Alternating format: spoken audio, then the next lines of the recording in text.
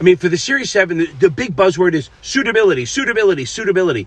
But here's the thing we're making it way, way, way more complicated than it should be. Really, I mean, I'm the king of being a dumbass. So I try to bring everything down to the littlest, most barest possible thing. So if we can get this in our head, it might make life a lot easier. So there's really three things that people want with suitability. That's it. There, there's variances of that, but let's start with that. The three things, and you can always do videos following up on specifics. But everyone wants growth. That's one thing. Growth. What is growth? The fact that your shit starts here and it gets bigger, it's more worth more. That's growth. Capital appreciation, stuff like that. Now, that's a good thing because if you do long-term growth, it's lower tax because you're not paying taxes on it now. You're paying taxes later, but that's growth. What do we want with growth? I mean, some things are like common stock, um, mutual funds, ETFs, things that invest in common stock. Common stock is one of the best things for growth slash capital appreciation. That's one thing, okay?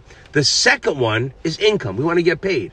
Now, we can break that up into two, and again, I'm losing the whole simple thing, but either we want we want current income like getting paid, bonds, you know, munis, corporates, treasury, stuff like that, things that pay you, maybe even preferreds or REITs, things that pay you during the life. That's current income.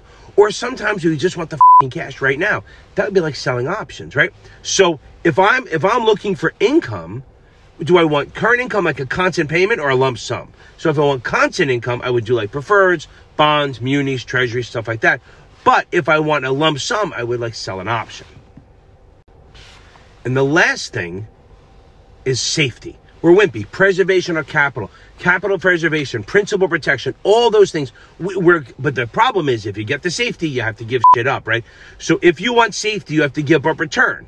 So for safety, short term, shit like that, we're thinking you got to go treasuries. You're going to have a very low return.